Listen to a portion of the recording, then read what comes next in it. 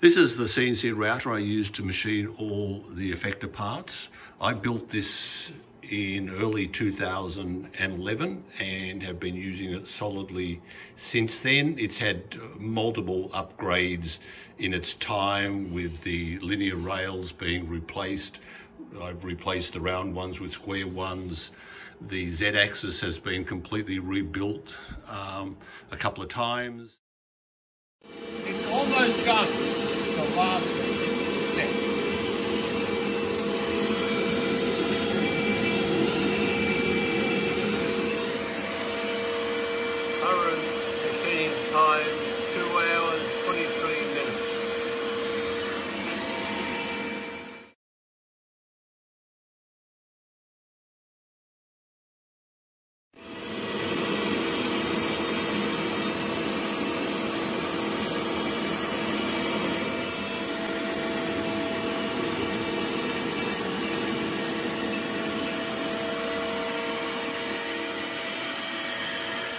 This part I am drilling the holes for the original Predator arms to be mounted.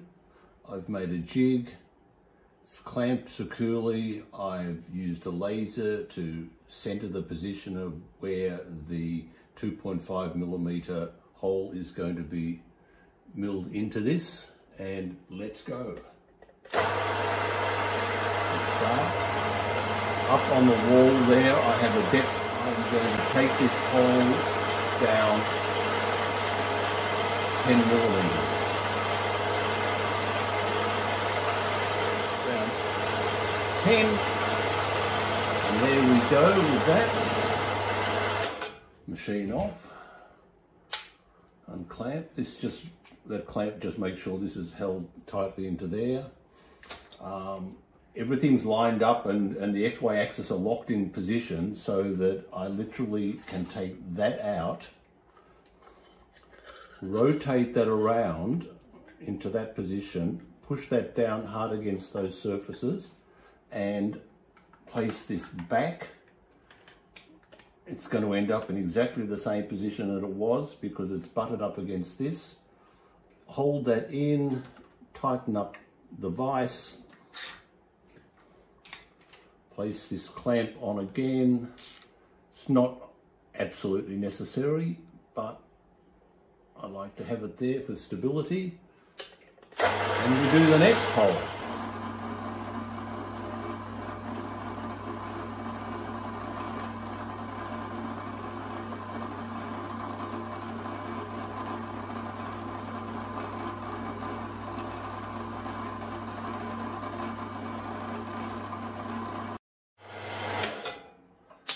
we're done. Bring that out. And there we have it. All the holes are drilled and ready to tap M3. What I like to do after the part has just come off the CNC router is to uh, just deburr the edges. They can be a little sharp and so I don't cut myself handling this more while I'm tapping the holes and whatever. I use uh, a little buffing wheel here. It's uh, a soft spongy, sort of like an emery wheel. Um, and uh, I'll just run that over the edges very quickly like this and it just cleans them up.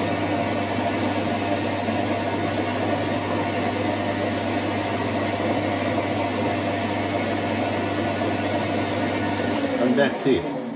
Later on in the process, after I've tapped all the holes and done the rest of the work, I'll use the same wheel to do all the faces of this to uh, make them nice and clean. In this process, I'm using a jig that I've made up to mark the holes that I'm going to drill and then tap in the fan mounting brackets and also the hot end mounting bracket. I've got the jig, it's marked uh, for the two types and all I do is place that over and all I'm doing is just putting a mark, a little blip where I'm going to then drill the holes using my drill press. So that's all I need for that.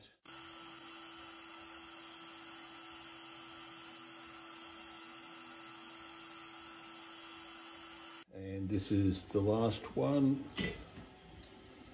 And I use a different jig for that.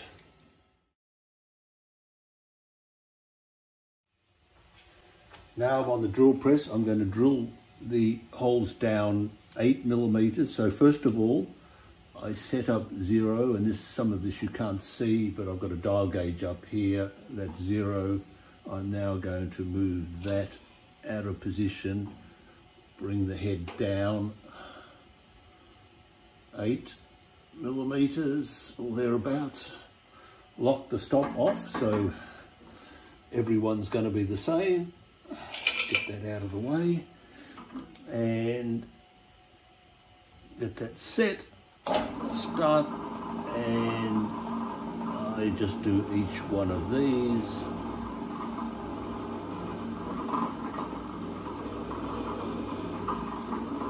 till I hit the stop move on to the next one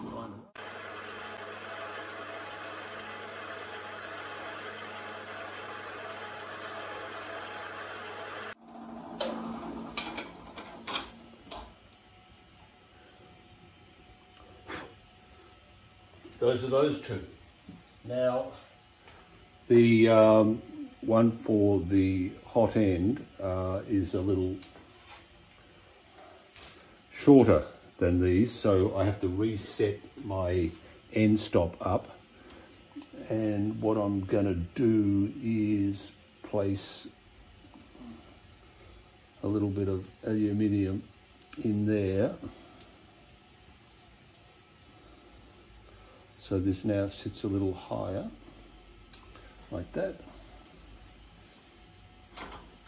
Clamp it up. Now, what I've got to do is I have to go down here, set zero again, and then move that out of the way, move down eight,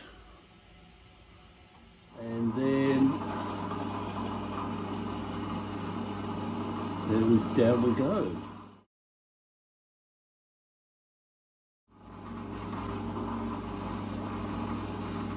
Once this is done, I then go through the process of tapping all the holes M3. Every hole in the Effector design is made to be tapped M3 so that there is just a consistency in the screw thread size. The only difference that varies is the length of the screws. So we'll next go clean this up and then go through the tapping process. Okay, now to tap all the holes, and there are a lot of them. I won't make the video of tapping every hole because that would take about an hour to do. But um, just to give you an idea, I mount the part in a vise I've been tapping holes for many years now, so um, I've uh, developed a fairly precise way of doing it. I use, this is just a very cheap um, cordless screwdriver with a chuck mounted in it and an M3 tap and uh, it's really good. This one has a switch either side here so it's really quick for me to forward and reverse it I use an M3 spiral tap. The benefit of using a spiral tap is the fact that you can just drive the, the uh, tap straight through without having to keep forward and reversing and backing off all the time. So to give you an idea, I line that up. I've got a fairly good eye for making sure this is all square and I just drive it through, back off to do the next one. Or by the way, I also use a little bit of lubricant. I use WD-40. Uh, I find it's a very light lubricant for tapping holes and uh, it gives a much cleaner thread, especially in uh, aluminium. So I do a few holes, go through it, brush off and uh, dip again and move on to the next hole. And I just then progress through all the holes in the effector itself, in all the brackets, um, and for this particular one, the Magball adapters, every hole is tapped M3. I haven't counted them all, but there's probably about 30 holes in total. So um, it's, uh, it's a bit of a laborious process, but uh, it's got to be done.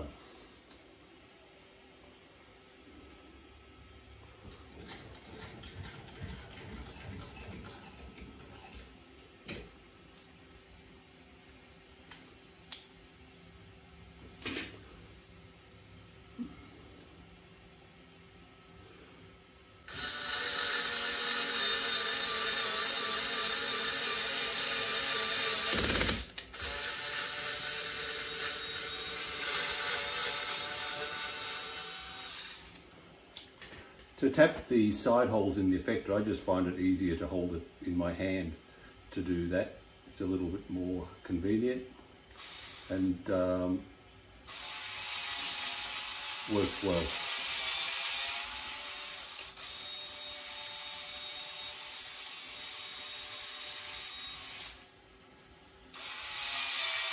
I did do a count just a little while ago of the total number of holes and it works out to about 43 uh, holes in total that need to be tapped.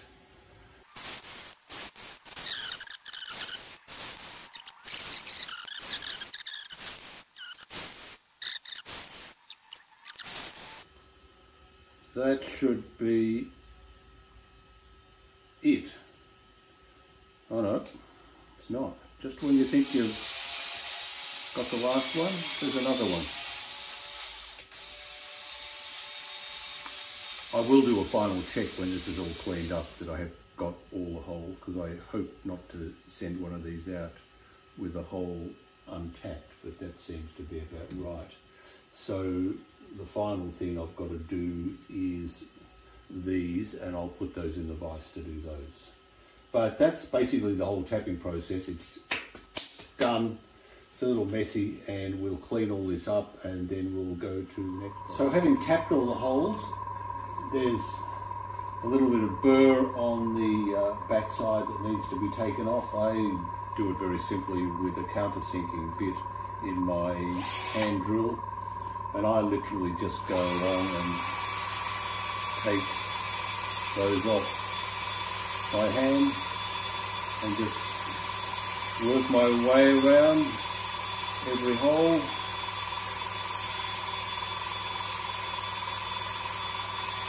This makes the whole job a lot neater. So I won't go through all of that. I'll just do all of them all and then we'll uh, take the next stage as it comes. The last actual machining job I have to do with the effector is to countersink four holes. Those are the ones that are on the underside of where the cooling fan brackets mount. They've got to be countersunk to be able to put in screws that won't interfere with the uh, part cooling ducts when that's uh, mounted. What I've got here is just a, uh, a reject effector that I've already countersunk the holes for at the right depth and I'm just literally setting up my drill press so that I don't go too deep put that aside, fire it up. When countersinking, you probably can't see, but the drill press is running really slow. What I've done is I've marked the holes that I need to countersink, just so I don't mistakenly countersink another hole that doesn't need to be done. Just reminds me. And uh, I then just go through the process of doing each one of those.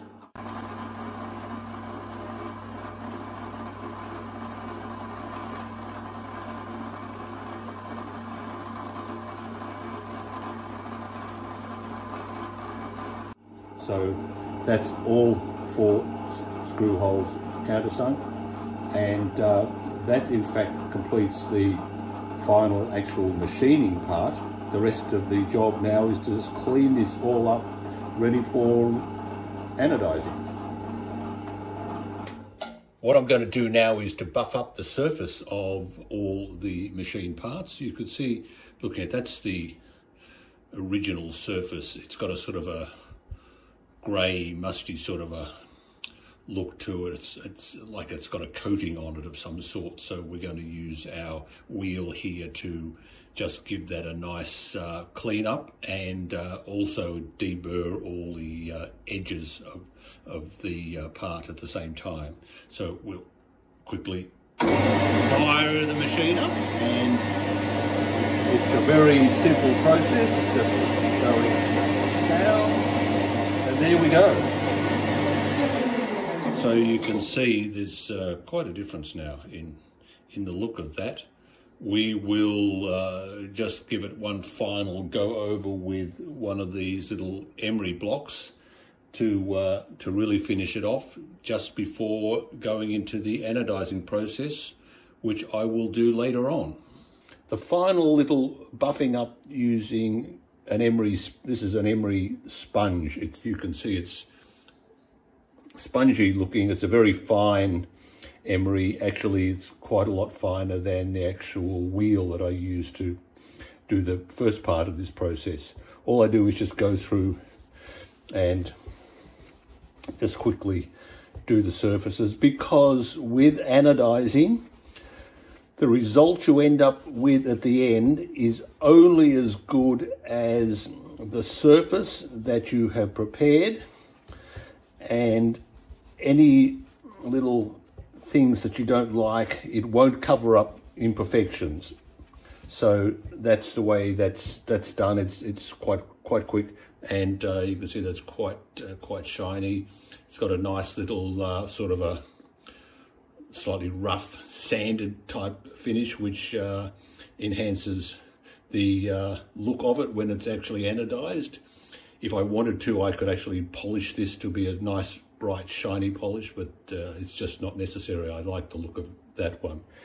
So that's about it. I hope all of this shows you just the process of making these and, and uh, how time consuming they can be, but the results are very satisfying. And uh, I end up with an effector that is uh, solid aluminium, rigid as it can possibly be, and really, really satisfying to use.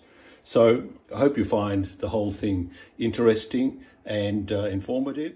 Thank you for watching.